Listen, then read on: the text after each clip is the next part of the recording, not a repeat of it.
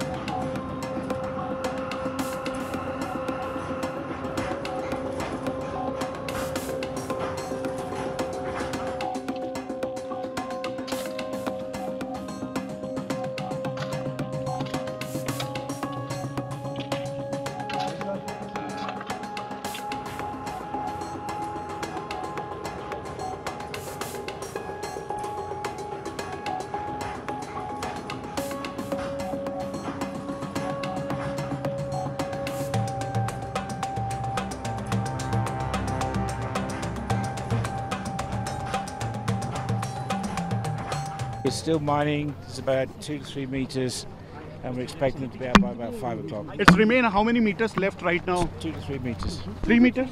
Two to three meters. Is it going to be a like breakthrough uh, in coming hours? I think. Four. Huh?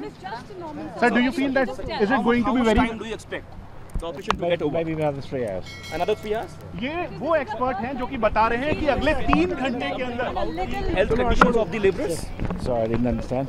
Can you please tell us something about the health condition of the laborers? Everyone's very excited. Everyone's very energetic, Okay. and uh, waiting to see the money come out.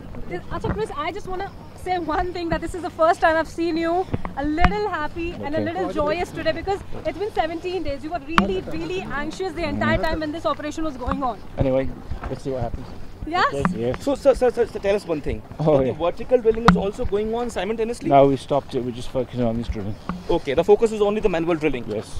And you are saying that we are the, the laborers are going to come out in another three hours. I wouldn't say they're going to come out. It's likely they'll be out before five o'clock. Okay. Thank okay. you so much. Thank you. Thank you, sir. Thank you. What's the progress, sir? So we're still mining. We've got a couple more meters to go. The going's quite easy, we're expecting to see some results by five o'clock. So how many uh, meters left? About two to three meters. Two to three meters. Yes. How much like it will take, according to you, sir? Bef- uh, about five o'clock we should see.